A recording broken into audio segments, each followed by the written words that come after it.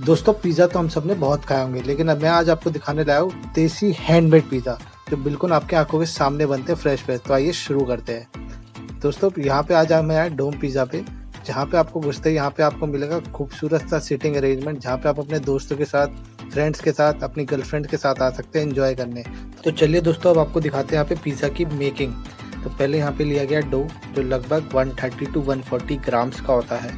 उसके बाद भैया ने यहाँ पे पिज़्ज़ा का बेस बनाना रेडी किया जो बिल्कुल अपने हाथों से बनाते हैं। कोई भी आ, मार्केट का बेस यूज़ नहीं करते भैया यहाँ पे। उसके बाद भैया यहाँ पे अपने बेस को लेके आए तीसरे स्टेज पर जहाँ पे भैया ने पहले यहाँ पे डाली पिज़्ज़ा पास्ता सॉस और उसको हर कोने में लगाया जिससे बहुत अच्छा टेस्ट आए। उसके बाद भैया ने यहाँ पे ली लिक्विड चीज़ जो बिल्कुल बहुत भर भर के लगाई हमारे लिए भैया ने यहाँ पे।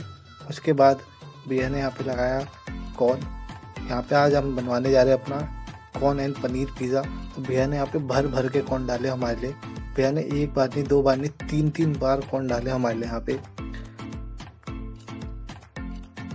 कॉर्न के बाद भैया हमारे लिए लेके आए यहाँ पे फ्रेश कट्स, पनीर के पीसेस और उसको भी लगाया, क्योंकि यहाँ पे हमारा बनना है डबल टॉपिंग पिज़्ज़ा। उसके बाद भैया यहाँ पे लेने गए मोजरेला चीज़। और फिर भैया ने यहाँ पे लगाया हमारे लिए मोजरेला चीज़, जो हमारे पिज़्ज़ा के टेस्ट को और भी इनहेंस करेगा। दोस्तों, अब हमारा यहाँ पे सेकंड पिज़्ज़ा रेडी होने जा रहा है तो आप इसको भी इंजॉय करिए।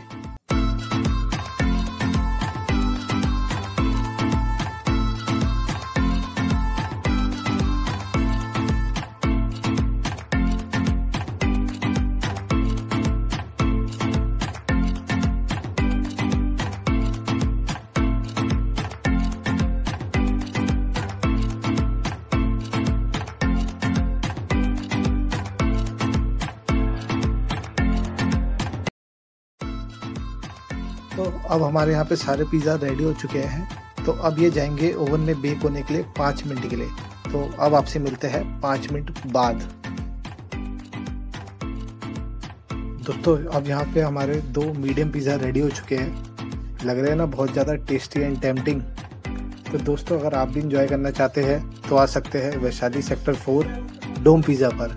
और इंजॉय कर सकते हैं देसी फ्रेश हैंडमेड पिज़्ज़ा तो दोस्तों, अगर वीडियो अच्छी लगी हो तो प्लीज़ लाइक करें, शेयर करें एंड सब्सक्राइब करें।